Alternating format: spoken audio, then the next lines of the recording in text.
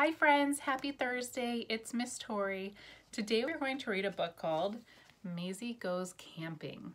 So sometimes we might go camping and it might be near the beach and the ocean. So I thought this would be a fun book to read. Maisy Goes Camping.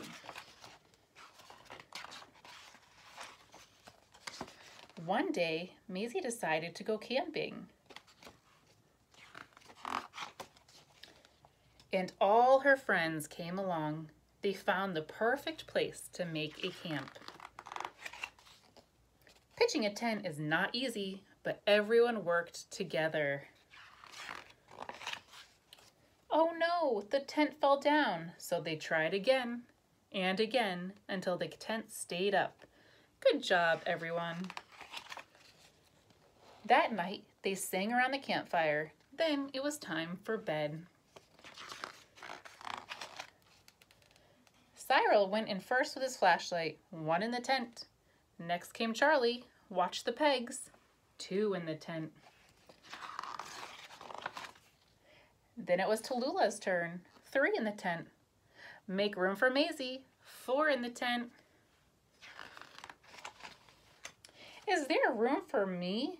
For one more? Come on, Eddie. That's a lot of friends in the tent. Oh no, five in the tent. What a squash, what a squeeze, what a squeezy squish squash. The tent is getting too tight. Five in the tent. Good night, campers.